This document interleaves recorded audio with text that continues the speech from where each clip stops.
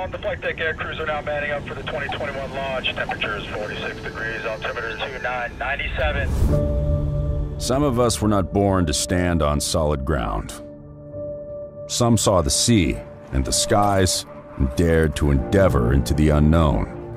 Start all the go aircraft for the 2021 launch. Destination Meadowlands. making an agreement with themselves and their country that this land is worth defending. Not just with boots on the ground, but with steel in the water and firepower in the air. Roger, Bravo, 26 knots, starboard. 325. Roger, Bravo, 25 knots.